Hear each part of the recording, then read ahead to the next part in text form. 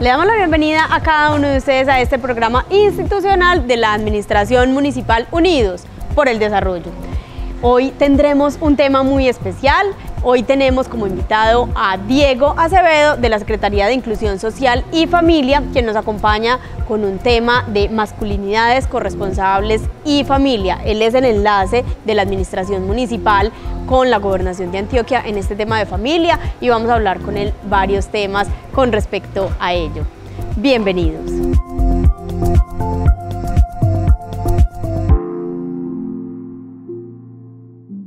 Le damos la bienvenida a Diego Acevedo, que nos acompaña desde la Secretaría de Inclusión Social y Familia de la Gobernación de Antioquia, más específicamente nuestro enlace de familia quien nos va a acompañar en este programa para contarnos cómo nos fue en este foro de masculinidades corresponsables y familia que se realizó en nuestro municipio. Bienvenido y muchas gracias por acompañarnos. Muchas gracias por la invitación, un saludo a quienes nos acompañan Bueno, cuéntanos un poco de qué se trata este tema de masculinidades corresponsables y familia.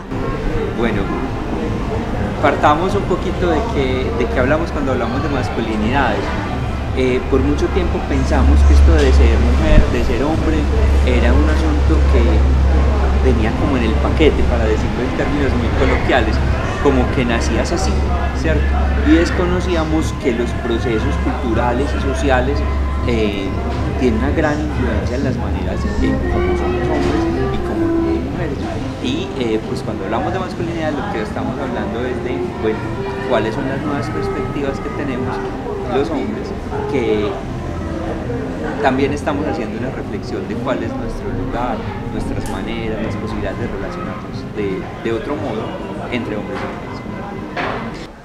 Bueno, Diego, vamos a invitar a nuestros televidentes para que vean una nota que tenemos preparada para ellos y continuamos con este tema tan importante para cada una de las familias de nuestro municipio.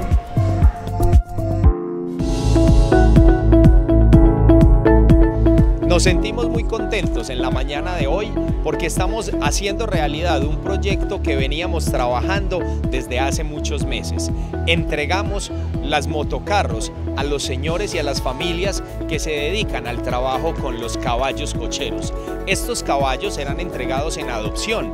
De esta manera, las familias tendrán un buen ingreso, tendremos mejor calidad de vida para los caballos y podemos así estar satisfechos porque somos uno de los 27 municipios que ha ingresado en este proyecto importante con la gobernación de Antioquia que hoy se hace realidad en Ciudad Bolívar.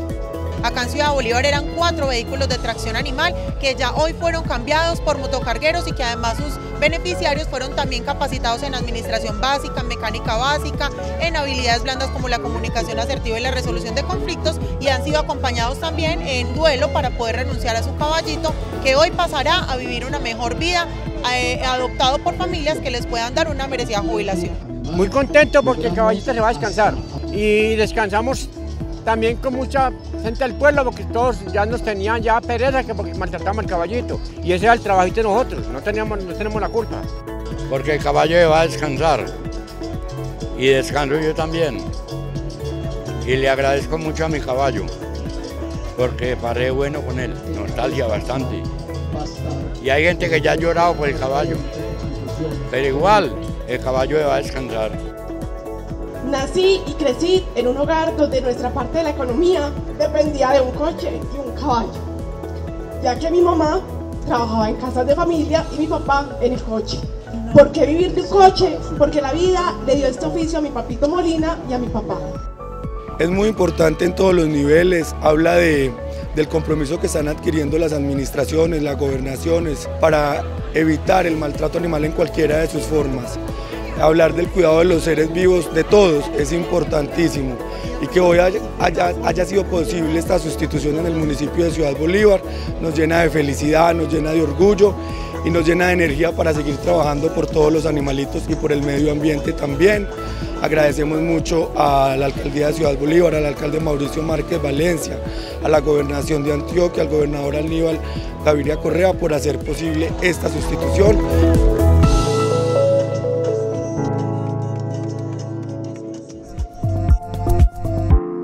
Bueno, continuamos con Diego Acevedo desde la Secretaría de Inclusión Social y Familia de la Gobernación de Antioquia, quien nos está contando sobre este tema de masculinidades corresponsables y pues continuemos con esta información para la comunidad.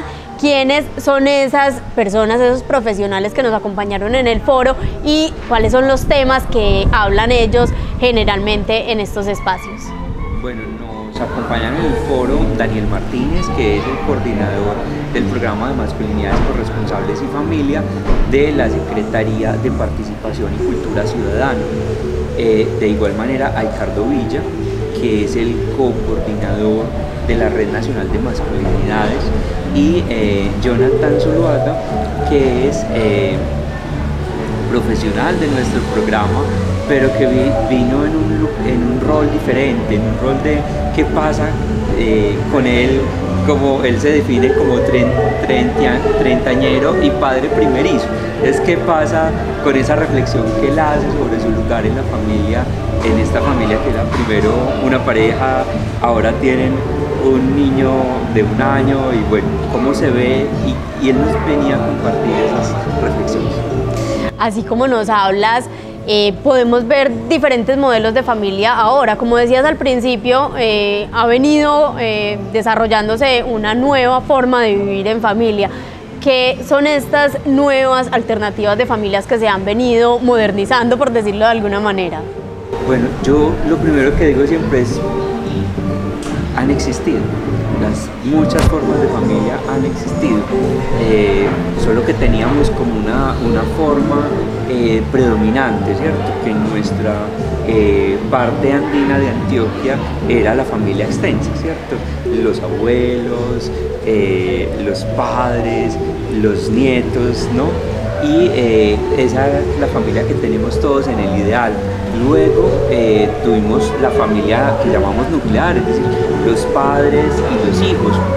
Eh, hoy las posibilidades de, hacer familia pues han incrementado las familias que llamamos monoparentales de jefatura femenina, que son esas donde las mujeres son la cabeza del hogar y eh, este hogar está conformado por ellas y sus hijos. Pero pues también tenemos familias que llamamos homoparentales, es decir, constituidas a partir de parejas del mismo sexo. También tenemos familias eh, donde hay personas que no necesariamente tienen un vínculo consanguíneo y a esas las llamamos familias ampliadas y eh, pues hay unas formas de familia eh, que esas sí son de aparición más, más reciente en nuestro, en nuestro medio y son las familias que llamamos las de los tuyos, los míos y los nuestros, ¿cierto? Que son las familias, tienen varios nombres, pero reensambladas también se les llama, que son las familias donde dos personas tienen relaciones, tuvieron relaciones eh, previas, de pareja previas, de allí vienen unos hijos y conforman una, nueva familia y tienen además sus hijos propios, entonces por eso les llamamos las familias de los tuyos, los míos y los nuestros. Bueno, entonces invitamos nuevamente a nuestros televidentes a que nos acompañen en una nota que tenemos preparada y continuamos con Diego Acevedo desde la Secretaría de Inclusión Social y Familia de la Gobernación de Antioquia.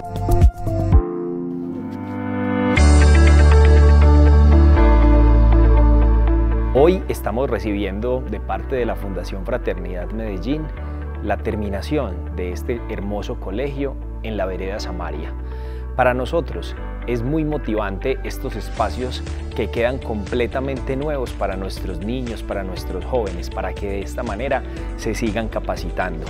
La formación, la educación es la que nos ayuda a disminuir esa brecha tan inmensa que existe entre lo urbano y lo rural. Un espacio espectacular de aprendizaje donde seguramente la comunidad y sobre todo nuestros niños van a estar muy a gusto y van a querer estar eh, estudiando acá. Los espacios adecuados de aprendizaje dignifican eh, la humanidad de los niños y realmente eh, un factor de permanencia, de querer aprender, de querer estar con los maestros.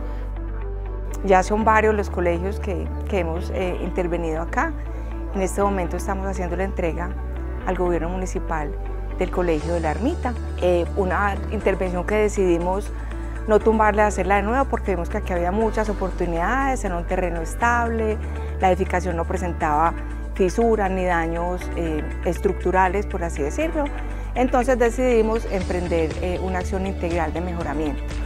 Cambiamos los pisos, nivelamos todas las, las aulas para que quedaran todas a la misma altura, cambiamos todo el sistema eléctrico, el sistema sanitario, es una sede que cuenta con agua potable, nuevas unidades sanitarias, una nueva cocina con un comedor escolar totalmente acorde para las condiciones de higiene y sanidad que necesitan los niños. Eh, mejoramos parte de los techos y está totalmente pintada, con pisos nuevos, canchas eh, restauradas. Cotrafa se ha muy, eh, vinculado también con parte del mobiliario, va a tener juegos infantiles que llegan ya esta semana. Fundación ACEP se vinculó con la donación de la nevera y tenemos también pues, la gerencia que nos hace la Fundación Berta Martínez de Jaramillo para todo el acompañamiento de la estrategia social y de apropiación de la comunidad. Le hemos puesto la ficha a poder mejorar las condiciones de infraestructura educativa. Farallón, San Gregorio, Alto de los Jaramillos, La Arboleda, La Ermita, La Angostura, son muchas las sedes que hemos intervenido y por eso tenemos la satisfacción del deber cumplido, entendemos que nos hacen falta más y más proyectos por desarrollar, pero estamos muy felices de haber entregado estas sedes tan bellas, tan renovadas, para que nuestros niños y nuestros jóvenes se sigan formando. Acompañamos después del mejoramiento de la infraestructura con programas de calidad, como es el programa ERA, Educación Rural para Antioquia, hoy ya una política pública de la Secretaría de Educación del Departamento de Antioquia, en donde con muchas metodologías estamos llegando desde el preescolar hasta la universidad en diferentes veredas del suroeste antioqueño, del Bajo Cauca y de Urabá. Y la última oportunidad que tenemos para ofrecerles a los niños en todo ese transcurso de la educación es que puedan acceder a una beca para educación superior. La Fraternidad Medellín ha hecho una apuesta decidida por el mejoramiento de la calidad de la educación. Consideramos que un espacio digno como este que tenemos hoy o como el que hemos entregado también acá en Bolívar como Farallones, Mercedes Escobar, Altos de los Jaramillos, el Hernando Posada, es la primera incentivo que tiene un joven para ir a estudiar. Muchos de los niños nos dicen que prefieren ir a la escuela que quedarse en su casa. Que aprovechen las oportunidades que les pueden ofrecer las regiones, pero a través de tener una buena preparación y la educación es el camino para tener ciudadanos que le aporten a la sociedad y que le aporten a las regiones a través de la educación. Retomamos este espacio con Diego Acevedo desde la Secretaría de Inclusión Social y Familia de la Gobernación de Antioquia. Él nos acompaña eh, como municipio con el tema de familia y pues estamos hablando de un tema que se trató en días pasados sobre las masculinidades corresponsables y familia y pues vamos a hablar un poco sobre esos temas que entraron en este foro y pues como a redondear claramente cómo funcionan las masculinidades corresponsables. Bueno, como temas conversamos en primer lugar, bueno, de qué hablamos cuando hablamos de masculinidades. Para muchas personas es una palabra nueva, eh, de dónde surgió esa reflexión. Eh, traigo aquí solamente un, dato y es que esta reflexión surgió de la pregunta de los hombres por la violencia de género contra las mujeres. Es eh, algunos hombres empezaron a preguntarse por qué los hombres tendemos a agredir a las mujeres. ¿no? es una tendencia que lamentablemente pues, las cifras nos muestran a nivel mundial y entonces a partir de esa reflexión empezaron a decir qué hay en nosotros y cómo es que nosotros podemos ser hombres diferentes. ¿cierto? Ese es como el inicio de, esta reflexión.